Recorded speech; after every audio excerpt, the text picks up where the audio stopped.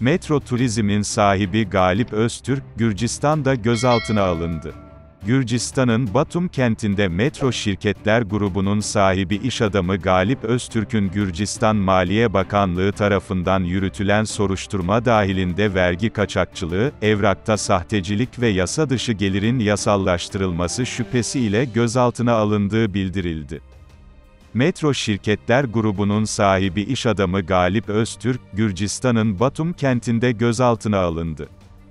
Gürcistan Maliye Bakanlığı'nın soruşturma servisinin resmi sitesinden yapılan yazılı açıklamada, mahkeme kararına dayanarak Öztürk'ün gözaltına alındığı belirtilerek, vergi kaçakçılığı, evrakta sahtecilik ve yasa dışı gelirin yasallaştırılması ile ilgili muhtemel gerçeklerin araştırılması sırasında diğer maddi delillerle birlikte çok miktarda para ile uyuşturucu ve psikotrop maddeler bulunmuş ve mahkeme kararıyla buna el konmuştur, denildi.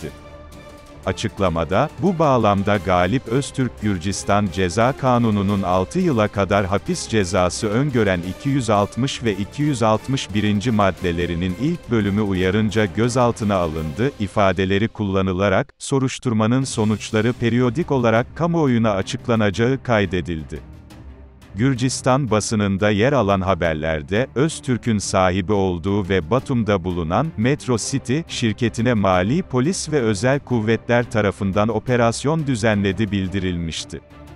28 Eylül 1996'da Kuvvet Köseoğlu'nun Samsun'da kan davası nedeniyle öldürülmesi ile ilgili davada Öztürk'ün de aralarında bulunduğu 7 kişinin yargılandığı davada, cinayeti işleyen Kudret Okumuş, yurt dışına kaçmaya çalıştığı sırada 28 Ağustos 2011'de Çorum'da yakalanmıştı. Davaya bakan İstanbul 19. Ağır Ceza Mahkemesi, 8 Ekim 2012'de sanıklar Y, Y, AO, Y, Ö, S, Ş ve 100.